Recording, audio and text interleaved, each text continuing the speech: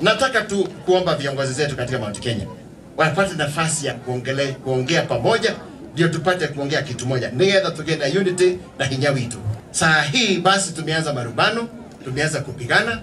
Mimi ningewaomba viongozi katika Mount Kenya tupate nafasi ya kuongea pamoja, na vile vile hata sisi hapa Nyandarua County viongozi tukianzisha hapa assembly, tukuje hapo members of parliament five of them, tukuje kwa mama, tukuje kwa mama county, tukuje kwa executive, executive deputy governor uh, governor mwenyewe na senator, tupate kuketi chini kama watu wa Nyandarua, tuongee pamoja lugha moja, ndio tupate kuendelea na kuongoza kaunti yetu vizuri. Mimi tuko na mali nyingi sana, lakini tukiweza kuongea pamoja, we shall not have the deliberate objectives in how we can enhance or reap the benefits of our unity.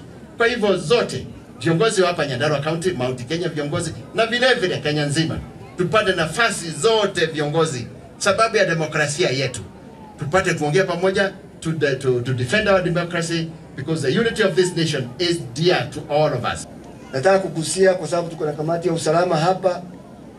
Hali ya usalama ya Nyandarua sio mbaya, lakini we can do better. Kuna vijana wachache wachache ambao wanataka kunyemelea kondoo ya jirani yao, ng'ombe ya jirani yangu, na hiyo mimi kama county commissioner na timu yangu ambao wako hapa hatuwezi kubali hiyo.